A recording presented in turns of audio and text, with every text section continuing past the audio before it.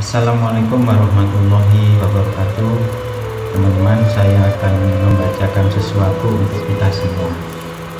Ada seorang pria berhenti di toko bunga Untuk memesan seikat karangan bunga Yang akan dipaketkan untuk sang ibu yang tinggal sejauh 200 km darinya. Begitu keluar mobilnya, ia melihat seorang gadis kecil berdiri di trotoar jalan sambil menangis terseduh-seduh. Pria itu pun menanyainya, "Kenapa?" Dan dijawab oleh gadis kecil itu, "Saya ingin membeli setangkai bunga mawar untuk ibu saya. Tapi saya punya uang 500 sedangkan harga mawar itu 1000." Pria itu tersenyum dan berkata, Ayo ikut, aku akan membelikanmu bunga yang kau mau. Kemudian pria itu membelikan gadis kecil setangkai mawar merah. Sekaligus ia pun memesankan karangan bunga yang akan dikirimkan ke ibunya. Ketika selesai dan hendak pulang, ia menawarkan diri untuk mengantarkan gadis kecil itu pulang ke rumah Gadis kecil itu pun melonjak gembira. Katanya, Ya tentu saja Tuan, maukah Tuan mengantarkan saya ke tempat ibu saya? Lalu kemudian mereka berdua menuju ke tempat yang ditunjukkan oleh gadis kecil itu. Dan sang pria sangat terperanjat karena tempat yang dituju itu ternyata sebuah pemakaman umum Lalu dengan langkah kecilnya, gadis kecil meletakkan bunganya di atas tanah makam yang masih basah.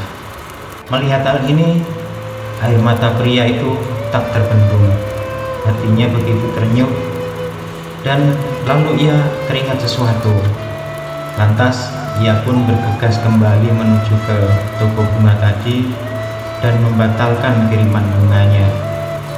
Lalu ia ambil karangan bunga itu dan mengendarai sendiri kendaraannya sejauh 200 km menuju rumah ibunya.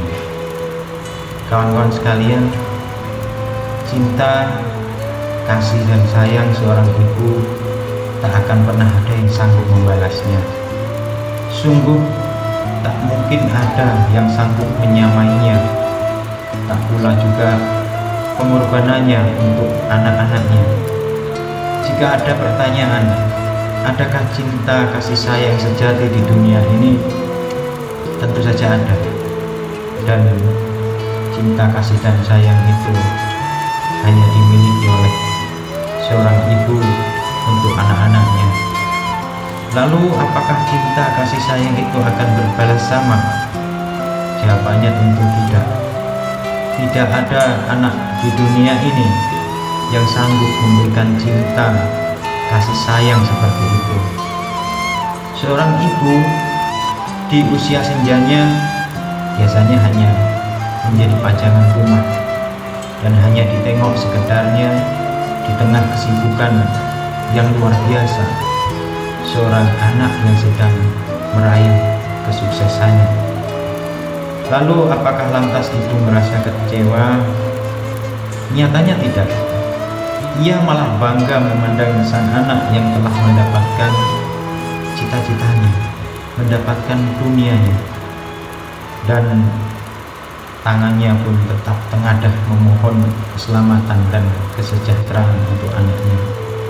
Melihat anaknya sukses, lalu apakah perjuangan si ibu selesai?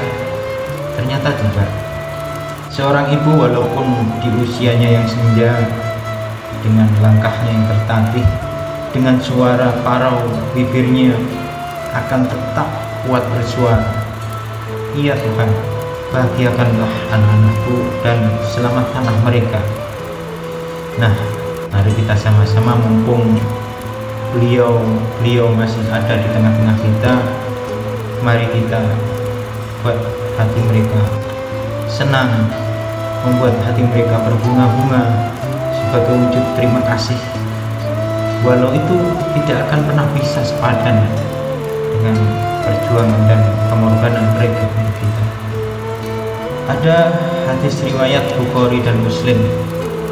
Jadi ada pernah seseorang yang datang kepada Rasulullah Shallallahu Alaihi Wasallam dan berkata wahai Rasul kepada siapakah aku harus berbakti pertama kali Rasul menjawab ibumu. Lalu orang itu kembali bertanya kemudian siapa lagi? Rasul menjawab ibumu. Orang tersebut kembali bertanya kemudian siapa lagi? Rasul kembali menjawab ibumu. Lalu orang tersebut bertanya kembali kepada siapa lagi? Ya Rasul. Lalu Rasulullah SAW kemudian ayahmu. Video ini saya dedikasikan untuk ibu-ibu yang hebat di seluruh penjuru dunia. Kami mengagumimu kami mencintaimu. Dan terima kasih ibu. Kami ucapkan selamat hari ibu. Semoga ibu seluruh dunia selalu sehat selalu kuat tegar dalam menghadapi apa pun semoga ibu di seluruh dunia diberikan kesehatan dan keselamatan dan kelapangan di dunia maupun di akhirat kelak. Amin. Terima kasih Ibu. Selamat Hari Ibu.